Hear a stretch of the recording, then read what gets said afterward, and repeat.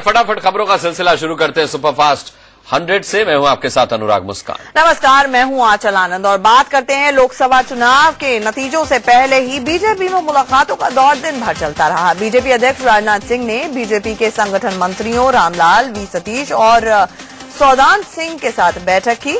बैठक में आरएसएस के पदाधिकारी सुरेश सोनी भी मौजूद थे। राजनाथ के घर, जब आरएसएस नेता और संगठन मंत्रियों की बैठक चल रही थी, तब वहाँ नरेंद्र मोदी के करीबी और यूपी बीजेपी के प्रभारी अमित शाह भी पहुँचे। अमित शाह ने भी इससे रणनीतिक बैठक में हिस्सा लिया। सूत्रों के हवाले से खबर आ रही है कि संगठन मंत्रियों के साथ बैठक में ये तय हुआ कि सरकार बनने पर किस राज्य और किस बिरादरी के किस नेता को मंत्री बनाया जाएगा। ये भी चर्चा हुई कि किसे मंत्री नहीं बनाने पर इसका नकारात्मक असर होगा। सूत्रों से खबर है कि बैठक में सौदान सिंह ने छत्तीसगढ़, राजस्थान, बिहार, झारखंड, यूपी, उत्तराखंड का फीडबैक दिया। पूर्व और दक्षिण भारत के बारे में भी सतीश ने जानकारी दी। वहीं उत्तर भारत और दूसरे राज्यों का फीडबैक रामलाल ने दिया। दिन भर की मुलाकातों के दौर के बीच अमित शाह ने दिल्ली में आरएसएस के दफ्तर में भी दस्तक दी। शाह ने यहाँ पर आरएसएस पदाधिकारियों से मुलाकात कर आगे की रणनीति को लेकर चर्चा की। उधर दिल्ली में आरएसएस के दफ्तर में बीजेपी के वरिष्ठ नेता कलराज मिश्र भी पहुँचे। यहाँ उन्होंने संघ के कई वरिष्ठ पदाधिकारियों से मुलाकात की। बीजेपी नेता नितिन गडकरी के घर आज भी मुलाकातों का दौर चलता रहा। पहले वरुण गांधी उनसे मिलने के लिए पहुँचे और बाद में विजय गोयल भी गडकरी से मिले। लालकृष्ण आडवाणी को मनाने के लिए अब बीजेपी आलाकमान ने उमा भारती को आगे किया है। इस बाबत उमा ने आज आडवाणी से मुलाकात भी की। सूत्रों से खबर है कि उमा भारती ने आडवाणी तक पार्टी का संदेश पहुँचा दिया। दरअसल कल सुषमा स्वराज से बीजेपी अध्यक्ष राजनाथ सिंह और नितिन गडकरी ने आडवाणी को मनाने की अपील की थी। सूत्रों के हवाले से यह भी खबर है कि सुषमा ने ऐसा करने से इनकार कर दिया। सुषमा की मनाही के बाद अब उमा भारती को मोर्चे पर लगा दिया गया है। दरअसल आज सुबह ही उमा भारती को राजनाथ सिंह ने मुलाकात के लिए बुलाया था। इसके बाद उमा भारती, नितिन गडकरी से मिली, पार्टी का संदेश लेकर आडवाणी तक पहुँचाने के बाद फिर उमा ने नितिन गडकरी से मुलाकात की। सूत्रों के हवाले से यह भी खबर है कि आडवाणी को लेकर बीजेपी ने तीन विकल्प सुझाए हैं। बीजेपी चाहती है कि आडवाणी या तो लोकसभा के स्पीकर बने या एनडीए के संयोजक या फिर एनएसी जैसी समिति के अध्यक्ष। कल गांधीनगर में नरेंद्र मोदी की अगुवाई में हुई बैठक में भी लालकृष्ण आडवाणी के रोल को लेकर मंथन हुआ था। साथ ही मुरली मनोहर जोशी, सुषमा स्वराज की अहम भूमिका पर भी चर्चा हुई। हालाँकि इस पर कोई आखिरी फैसला नहीं हो पाया। बीजेपी अध्यक्ष राजनाथ सिंह ने मीटिंग के बाद गांधीनगर में वरिष्ठ नेताओं की भूमिका पर खुलकर कुछ नहीं कहा। उन्होंने सिर्फ़ इतना ही कहा कि सत्रह मई को संसदीय बोर्ड की बैठक होगी जिस पर फैसले लिए जाएँगे। इसकी क्या भूमिका होगी? इस संबंध में जो हमारी पार्लियामेंट्री बोर्ड की बैठक होगी उसमें हम लोग विचार विमर्श करेंगे। आगे भी हम लोग अनौपचारिक तरीके से भी बैठेंगे। नरेंद्र मोदी प्रधानमंत्री के साथ एनडीए का चेयरमैन पद भी अपने पास रखने की तैयारी में है। सूत्रों से खबर है कि मोदी नहीं चाहते कि दो दो पावर सेंटर बने, इसलिए वो एनडीए चेयरमैन बनना चाहते हैं, जो फ़िलहाल लालकृष्ण आडवाणी है। नए गठबंधन साथी खोजने में जुटी बीजेपी को झटका लगता हुआ दिख रहा है। तेलंगाना राष्ट्र समिति ने एनडीए के साथ आने से पूरी तरह से इनकार कर दिया है। टीआरएस चीफ केसी राव की बेटी के कविता ने कहा है कि उनकी पार्टी एनडीए की जगह थर्ड फ्रंट या फिर यूपी के साथ जाना पसंद करेगी वहीं के करुणानिधि की अगुवाई वाली पार्टी डीएमके ने भी एनडीए के साथ आने से इनकार कर दिया। डीएमके नेता ने कहा है कि पार्टी को एनडीए में जाने का कोई इरादा नहीं है। बीजेपी नेता सुब्रमण्यम स्वामी ने कहा है कि जब हमने डीएमके से समर्थन लिया ही नहीं मांगा ही नहीं तो फिर समर्थन नहीं देने का सवाल ही कहाँ आता है? उन्होंने तो ये भी कहा कि टूटी घोटाले के आरोपियों वाली पार्टी से सपोर्ट नहीं लिया जाएगा। हमें बड़ा आश्चर्य होता है किसने उनको निमंत्रण दिया जोड़ने के लिए। जब वो टू के घोटाला में उनका सारे लोग अपराधी हैं उनके साथ हम कैसे गठबंधन कर सकते हैं? नरेंद्र मोदी को समर्थन देने की बात कहना एआईएडीएम के नेता के मलायसामी को काफ़ी महँगा पड़ा। एआईएडीएम के सुप्रीमो जयललिता ने अपने वरिष्ठ नेता मलायसामी को पार्टी से ही बाहर का रास्ता दिखा दिया। दरअसल एग्जिट पोल में एनडीए को बढ़त मिलने के बाद एआईएडीएमके के वरिष्ठ नेता के मलयासामी ने कहा था कि राजनीति में कोई भी दोस्त या दुश्मन नहीं होता है। उन्होंने कहा था कि जयललिता मैडम मोदी के साथ गठबंधन कर सकती हैं। 24 घंटे बाद साफ़ हो जाएगा कि देश की सत्ता पर कौन विराजमान होगा। नरेंद्र मोदी की अगुवाई में एनडीए को बहुमत हासिल होगा या यूपीए की उम्मीदें ज़िंदा रहेंगी या त्रिशंकु लोकसभा की स्थिति बनेगी, इसका पता कल चल जाएगा। चुनावी नतीजे के बाद मीडिया के सामने किस तरह से बात रखनी चाहिए, इसे लेकर बीजेपी प्रवक्ताओं, नेताओं की क्लास लगी। बीजेपी के वरिष्ठ नेता अरुण जेटली ने नेताओं को टिप्स दिए। बैठक में अमित शाह, रविशंकर प्रसाद समेत कई वरिष्ठ नेता मौजूद थे। चुनाव नतीजे के एक दिन बाद, यानी कि 17 मई को बीजेपी के प्रधानमंत्री पद के उम्मीदवार नरेंद्र मोदी दिल्ली पहुँचेंगे। दिल्ली में मोदी के भव्य स्वागत की तैयारियाँ हैं। एयरपोर्ट से बीजेपी दफ्तर तक रोड शो भी होगा। इस दौरान रास्ते में फूल भी बिछाए जाएँगे। मोदी जब 17 मई को दिल्ली आएँगे तो उनका ऐसा स्वागत होगा। मानो वो पीएम बन ही चुके हों। एयरपोर्ट पर हज़ारों कार्यकर्ता उनके स्वागत के लिए रहेंगे। बीजेपी दिल्ली यूनिट ने दिल्ली पुलिस से भी इस बाबत सुरक्षा के इंतज़ाम करने को कहा है। दरअसल 17 मई को दिल्ली में बीजेपी की पार्लियामेंट्री बोर्ड की मीटिंग भी रखी गई है, जिसमें मोदी शरीक होंगे। मोदी के आने पर बीजेपी दफ्तर में भी उनका जोरदार स्वागत होगा। 17 मई को नरेंद्र मोदी दिल्ली के कार्यक्रम निपटाने के बाद वाराणसी जाएँगे। वो वाराणसी में लोगों का शुक्रिया अदा करने जाने वाले हैं। कहा यह जा रहा है कि वो गंगा आरती में भी शामिल हैं। 16 मई को चुनाव नतीजे के बाद नरेंद्र मोदी वडोदरा जाएँगे और यहाँ एक जनसभा को संबोधित भी करेंगे। वडोदरा से लौटने पर शाम के शाम में नरेंद्र मोदी अहमदाबाद में भी एक रैली करेंगे। चुनावी नतीजे आते ही कल गुजरात के हर ज़िले तहसील में बीजेपी विजय उत्सव मनाएगी। इस बाबत बीजेपी की गुजरात यूनिट की अहमदाबाद में अहम बैठक हुई, जिसमें तैयारियों का जायजा लिया गया। एग्जिट पोल में मोदी सरकार बनती देखकर मोदी के पैतृक गाँव वडनगर को दुल्हन की तरह सजाया जा रहा है यहाँ मोदी का जन्म हुआ था। दिल्ली के मयूर विहार में बीजेपी कार्यकर्ताओं ने मोदी को पीएम बनाने के लिए हवन किया।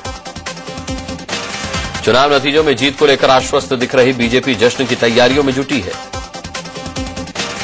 पटना में भी नरेंद्र मोदी को प्रधानमंत्री बनाने के लिए बीजेपी कार्यकर्ताओं ने हवन का आयोजन किया। कार्यकर्ताओं ने मोदी के पोस्टर्स हाथ में लेकर हवन किया। वहीं उज्जैन में भी बीजेपी उम्मीदवार चिंतामणि मालवीय ने हवन पूजन किया। उन्होंने केंद्र में मोदी की अगुवाई में एनडीए सरकार बनने की कामना के लिए हवन किया।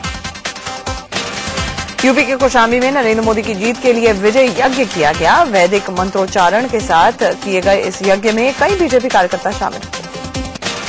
लोकसभा चुनाव के नतीजे आने से पहले ही बीजेपी समर्थक जश्न की तैयारी में जुट गए हैं। मेरठ में जगह जगह एनडीए की सरकार बनने और मोदी के पीएम बनने के पोस्टर लगाए गए एशिया का सबसे बड़ा मिल्क ब्रांड अमूल नरेंद्र मोदी के पीछे पीछे वाराणसी पहुँच गया है। अमूल ब्रांड से दूध बेचने वाली बनास डेयरी वाराणसी में 200 करोड़ रुपए की लागत का डेयरी प्रोसेसिंग प्लांट लगाने जा रही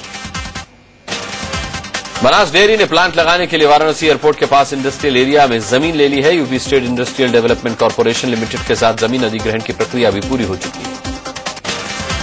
खास बात यह है कि नरेंद्र मोदी का विरोध करने वाले यूपी के सीएम अखिलेश यादव ने अमूल को 30 एकड़ ज़मीन भी ऐसी जगह पर दी है जहाँ पर मोदी चुनाव लड़ रहे हैं।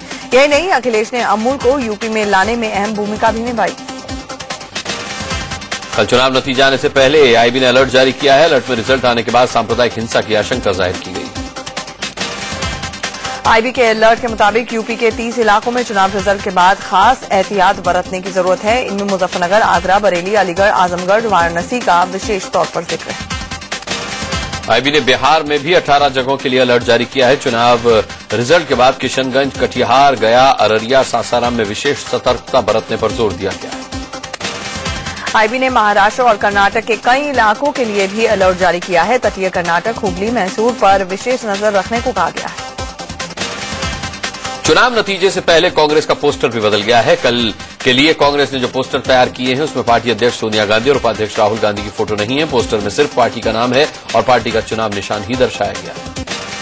ऐसा पोस्टर तैयार करने के पीछे मकसद ये है कि हार की स्थिति में ठीकरा सोनिया या राहुल पर नहीं बल्कि सामूहिक ज़िम्मेदारी पर फोड़ा जाए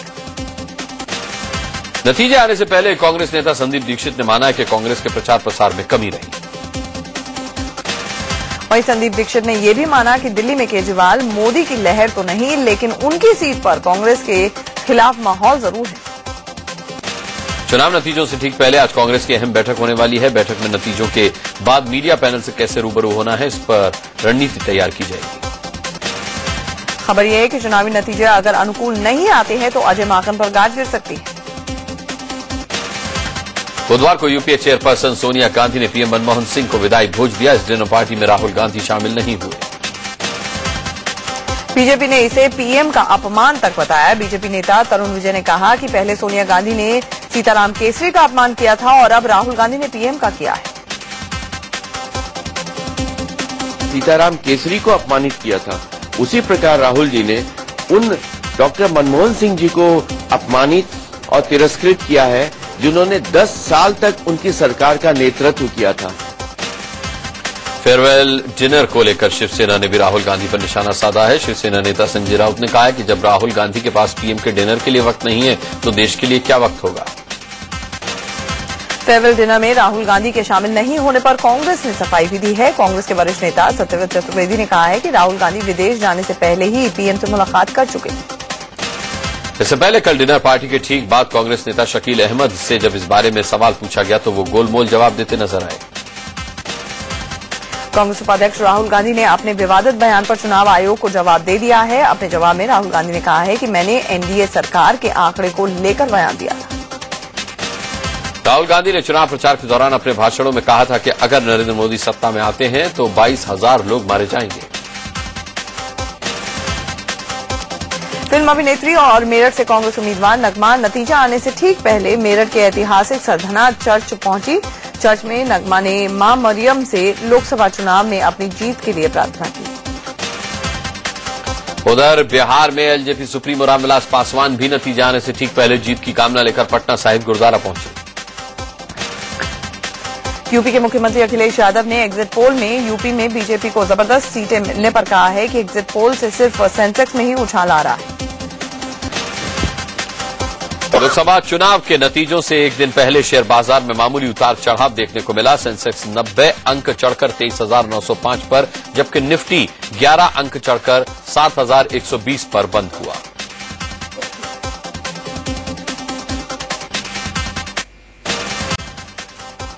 बीजेपी के महासचिव और यूपी प्रभारी अमित शाह को बड़ी राहत मिली है। सीबीआई कोर्ट ने उन्हें इशरत जहाँ एनकाउंटर केस में आरोपी बनाने की याचिका खारिज कर सीबीआई कोर्ट में इशरत जहाँ के साथ ही मारे गए जावेद नाम के एक शख्स के पिता ने याचिका दायर की। थी सुप्रीम कोर्ट में सहारा समूह से संबंधित मामले की सुनवाई में नया मोड़ आ गया है। न्यायाधीश जेएस कहर ने खुद को इस मामले की सुनवाई से अलग कर लिया है। मामले की सुनवाई कर रहे दूसरे जज पहले ही रिटायर हो चुके हैं। ऐसे में अब मामले की सुनवाई एक नई खंडपीठ करेगी। एमएलए सुप्रीमो राज ठाकरे के खिलाफ गाजियाबाद की अदालत ने गैर जमानती वारंट जारी किया है और 18 जून को पेशी की तारीख रखी गई। है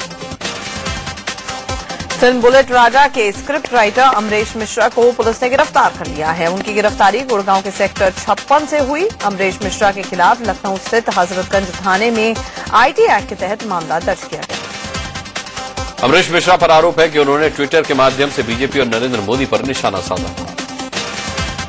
यौन उत्पीड़न के आरोपी आसाराम को जोधपुर हाईकोर्ट से झटका लगा है। पीड़िता ने उम्र की जाँच की मांग करने वाली उनकी अर्जी हाईकोर्ट ने खारिज कर दी। नक्सलियों से संबंध के आरोप में गिरफ़्तार दिल्ली यूनिवर्सिटी के प्रोफेसर जीएन साईं बाबा के खिलाफ एबीवीपी कार्यकर्ताओं ने प्रदर्शन किया।